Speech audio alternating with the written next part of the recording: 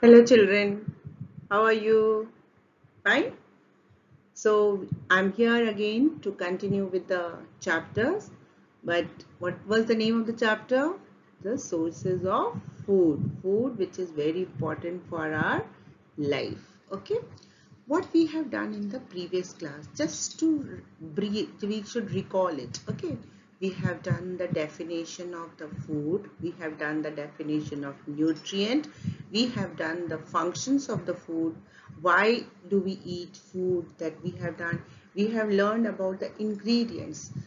Whenever we cook any item food item we add number of components to it. Then only a kind of dish gets ready. Okay and why we added because we need different types of nutrients from the food and these important components add different nutrients which is required for our body parts. And we also started with the sources of food. The sources of food is divided into two categories. One is the plant source another is the animal source. Okay? And you know that plants prepare their food and they store in their different parts by the process of photosynthesis. That is why plants are called as the producers. They produce food for others as well as for themselves. Some of the food they use for themselves but rest others they store it and that storage part we eat it. Okay. So today and we have started with we uh, I told you that plants give us number of things. It gives cereals, it gives vegetables, it gives fruits, it gives different medicines, different spices and the other source was animal. Animal along with the, since they don't make the food but they give some kind of products in the form of milk, in the form of honey, in the form of meat, in the form of egg. So plants are also our sources for the food.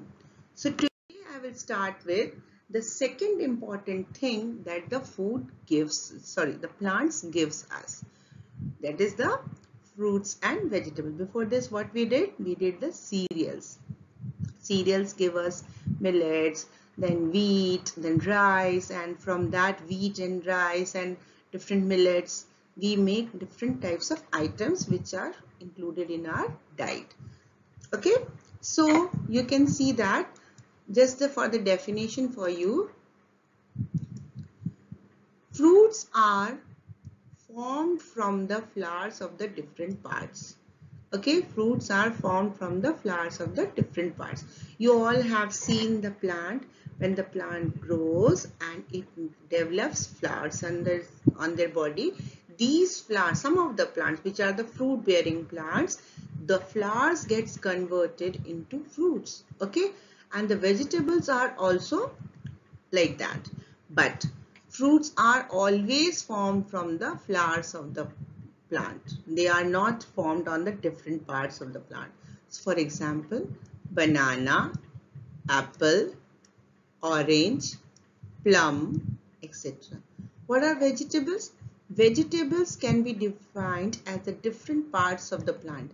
Like you know that we eat different vegetables everybody children most of the children they love potatoes. Yes potato carrots radish they are the root vegetables. Why we call it as a root vegetable and why do we eat those root vegetable? Because the plants store their prepared food in its roots and the roots got swollen and it is eaten as a vegetable. But Potatoes are generally called as underground stem. They are not called as underground root. Okay, this and the sweet potato is called as underground root. This is something you will study in the higher classes. Why are they called as a stem and why are they not called as a root? Leaf vegetable. The second one is the leaf vegetable like spinach, lettuce, etc. Fruit vegetable Fruit means from the flowers when it is changed. So what is this? Pumpkin, okra, tomatoes. Okay. Tomatoes are called as the fruit vegetables. Inflorescence. This is something, a new term for you. Inflorescence. Inflorescence means the part of a flower. When the plant bear a flower and some part of that flower is eaten that is called as inflorescence. So broccoli, cauliflower, these are the inflorescence vegetable. Stem vegetable which we eat like bamboo shoots, asparagus, these are the few stem vegetables. Okay, in your book there is one part in the page number uh, 9 you can see that the different types of fruits and the vegetables are given to you for your reference and it is asked that what are they which part of the plant they are. Just go through that. In page number 9 you will get a better idea. And if anybody asks you what is ginger? Ginger is which part of the plant? Ginger is the stem part of the plant. What is turnip? Turnip is the root part of the plant. Okay? Similarly pea. Pea is the seed part of the plant. So we eat different parts of the plant as our food in the form of fruits and vegetables.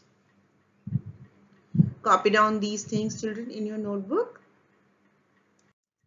Next is other than the cereals and the fruits and the vegetables, plants are also very much beneficial they gives different types of food which is also included in our food first one is nuts you know groundnut cashew. Cashew means you know children kaju peanuts okay? Herbs some of the herbs we also include like coriander dhania ki patti then mint mint is pudina celery parsley these are some herbs that we add above the we add it to our uh, food item that makes it little more tasty. These are the things and they are not only making the food tasty they have some nutritive value like coriander when we talk about the coriander coriander has very high content of vitamin C so the coriander adds the taste of the food as well as it gives us some content of vitamin C also Similarly, mint. Mint is very, it's like a menthol. It gives very cooling effect. You must have seen in the summer, your mother makes some kind of, uh, you can say drink, juice. She adds some little mint to it and that gives so refreshing uh, effect when you drink it. So mint gives a refreshing effect as well as it is very good for our stomach. Sometimes when our stomach is aching, the mint by eating a few leaves of the mint gives little much relief from the stomach. Now oil. Oil is a very important aspect for our food cooking. So we get oil from the different seeds of the plant like sesame. Sesame means til ka tel. Sunflower everybody knows. Mustard is there. And then you have uh, soya bean. Sometimes we get the rice bran oil also. So we get, we extract the oil from these seeds which is used for our everyday cooking part. Beverages, you know that there are some kind of hot drinks that we eat, we drink, sorry, like coffee, tea, cocoa. You can see that this is the mm, uh, picture of the coffee beans, you know. The coffee is grown on the plant in, and then the flower flower forms then the fruit forms inside the fruit the seed is there that seed has to be dried they have to be dried and then these coffee seeds are roasted. Then we grind it. After grinding we get the coffee powder. That coffee we put it in the milk and then we drink it. Okay this is very common. Coffee and tea are very common in india. We without coffee and tea our lives are not complete. Okay? Then the very must the next important thing the plant gives is the spices. You know that whenever you, you if you have observed cooking at your home whether your mother or grandmother or any cook when cooks the food at home you have seen that they add a number of things while cooking. What are those? They are the spices like cardamom, cloves, cinnamon, these are the. So you can see that there is a picture I have shown to you. This one. this is the picture is given to you. You can see that it has different types of spices. This is cloves. Okay? This is something jeera. This is chili. Then there are number of like this is elaichi so these are what? These are the spices. And these spices also not only add flavor or taste to your food item but it also has some nutritive value you know one interesting story I would like to tell you. Okay, the turmeric, turmeric is commonly called in Hindi is haldi. Okay, in India, India was the first country to identify that turmeric has a healing capacity. That means if you have any cut or any kind of hurt on the skin, if you apply uh, turmeric over it, so it heals up. But they have not patented that means they have not booked that invention that it has a healing effect. And later on some other country like US they have they just copied our concept and they said that this is our invention but actually this invention was ours. Okay? So similarly each of the spices has its own impact and benefits. Okay? Next time when you will see any spices added by your mother while cooking you ask mama why are you adding this to the food? What benefits we are going to get? Mama will tell you the things the importance why she's adding this and this and this to the food item. Okay next we come to now we've completed the foods different kinds of foods we get from the plant. Okay now we come to the animals. The food now in the form of sources that we get from the animals. So number one is the meat. Okay how do you define uh, the meat? Meat are the muscles and other parts of the animal's body which is eaten by us so the muscular part of the animal which is cut and which is cooked and then eaten they are called as a meat so we eat the muscles of the fish. Poultry means chicken. Cattle is cattle meat is called as a beef. Generally it is not uh, famous in our country. People worship cattle so though we don't eat beef. But in the foreign countries people eat the cattle meat also and the sheep, goat etc. The meat. Meat has a very high content of protein. Okay. Next is eggs. You know that when the egg is formed inside the bird's body and they uh, lay the eggs and before without the those eggs which are not hatched that means from which the baby has not come out those unhatched eggs are eaten by us in the form of food. It also has a very high content of protein. So who uh, which animals gives us eggs? Hen duck and some fish egg. fish also lays eggs. But generally fish eggs are not very commonly eaten. Okay?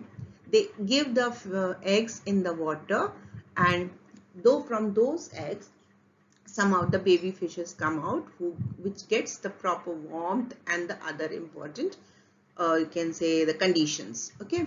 Next is the milk which is loved by some children and which is hated by many children. But milk is a very very important for growing children. Okay we get milk from cow goat camels and other animals okay? So next one from the milk that we get from these animals we make number of milk products what are they we make butter we make buttermilk we make cheese we make cream we make curd and the most commonly and the loved by most of the children is the paneer. Okay, so next time when you eat paneer, you remember this is formed from the milk which we get from the animal's source. Next is the very important and which is very high medicinal value is the honey. Honey we get it from the honeybees. How this honey is formed by the honeybees? Honeybees go and suck the nectar from the different flowers. They just use their very uh, sharp pointed tube like structure that is called as proboscis and that proboscis they just pierce into the flower and they suck the nectar of the flower. There is a kind of a sweet juice present inside the flower. They suck it and inside their body they convert they bring that nectar and inside their body they convert it into honey and they store it into their hive beehives. So honeybees convert the nectar from the flower into honey inside their own body so what are the food sources we get from the animals? First is meat second is egg third is milk and the fourth one is honey. Next is on the basis of the food habits you know that when we are talking about the animals different animals even we talk about us also different people have different eating habits. Similarly animals also have different eating habits so this shows that who eats what in the environment so first of all we get we talk about the plants already we have discussed that plants are self making food creatures. So they make their own food. That is the process is photosynthesis. In the lower class, you have studied the process of photosynthesis. What is photosynthesis? When the plants use carbon dioxide, water and in the presence of sunlight, where in the leaf portion, they convert, they mix it all this carbon dioxide and water by using the light energy of the sun inside the leaf. That process is called as photosynthesis. Why in the leaves? Because leaves have chlorophyll and that chlorophyll makes the plant, enables the plant to convert the carbon dioxide and water into glucose, into a food called as glucose that glucose molecules when they combined and it is stored in the different parts they, they convert into starch. So remember plants make the food by the process of photosynthesis. They prepare the food by carbon dioxide and water. Carbon dioxide and water changes to glucose. Glucose when stored inside the plant's body they, are, they form the starch. But animals they all depend on plants for the food directly or indirectly. When we talk about directly, directly means they eat only the plants and the plant products and indirectly means they eat the plant eating animals. They eat the plant eating animals. Some of them eat plants also and the plant eating animals also. Depending upon their choices of food in the environment, we broadly divide the animals into three categories. One is herbivores, carnivores and omnivores. So there are three types of animals on the basis of food habits that means eating habits. Number one is herbivores, number two is carnivores, number three is omnivores. Okay. So what is, we will talk about each of the categories separately. Today we will do the herbivores. Herbivores are herb. Herb means plants. Vores means animals. So the plant eating animals.